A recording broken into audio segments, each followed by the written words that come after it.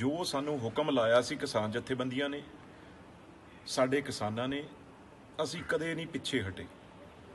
ਕਿਉਂਕਿ ਅਸੀਂ ਵੀ ਉਸ ਗੁਰੂ ਗੋਬਿੰਦ ਸਿੰਘ ਜੀ ਦੇ ਬੱਚੇ ਆ ਅਸੀਂ ਅੱਜ ਤੁਹਾਡੇ ਹੁਕਮ ਨਾਲ ਜਿਹੜਾ ਵਿਪ ਜਾਰੀ ਸੀ ਆ ਬੈਠੇ ਆ ਹਫਤਾ ਅਸੀਂ ਦੇਖਿਆ ਨਹੀਂ ਮੰਨੇ ਆਪਣੇ ਬਿੱਲ ਪਾਸ ਕਰਦੇ ਰਹੇ ਨਹੀਂ ਮੰਨੀ ਗੱਲ।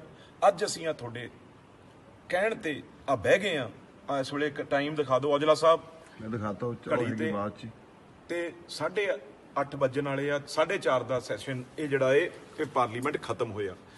ਤੇ ਹੁਣ ਦੇਖਦੇ ਆ, ਰਾਤ ਕੀ ਕਰਦੇ ਆ, ਬਾਹਰ ਕੱਢਦੇ ਆ, ਧੱਕੇ ਨਾ ਕੱਢਦੇ ਆ, ਕੀ ਕਰਦੇ ਆ, ਪਰ ਅਸੀਂ ਇਹਨਾਂ ਨੂੰ ਕਹਿਤਾ ਵੀ ਜਿੰਨਾ ਚਿਰ ਨਹੀਂ ਤਿੰਨੋਂ ਬਿੱਲ ਬਰਾ- ਵਾ- ਵਾਪਸ ਹੋਣਗੇ ਆ ਬੈਠੇ ਆ ਤੁਹਾਡੀ ਪਾਰਲੀਮੈਂਟ 'ਚ, ਕਿਉਂਕਿ ਇਸ ਮੰਦਰ 'ਚ, ਲੋਕਤੰਤਰ 'ਚ ਇੱਕ ਗਰੀਬ, ਅਖੀਰਲੀ ਲਾਈਨ ਤੇ ਜਿਹੜਾ ਖੜਾ, ਉਹਦੀ ਵੀ ਸੁਣੀ ਜਾਂਦੀ ਆ 25 ਲੱਖ ਦੇ ਨੁਮਾਇੰਦੇ ਦੀ ਨਹੀਂ ਤੁਸੀਂ ਸੁਣਦੇ। ਅਗਲੀ ਰਣਨੀਤੀ ਫੇਰ ਬਣਾਵਾਂਗੇ ਤੁਹਾਡੇ ਪਿੱਛੇ ਤੇ। ਧੰਨਵਾਦ।